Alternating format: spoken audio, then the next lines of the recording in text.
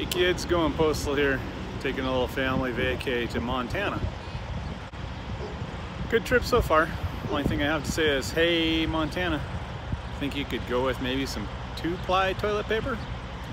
You'd save on soap.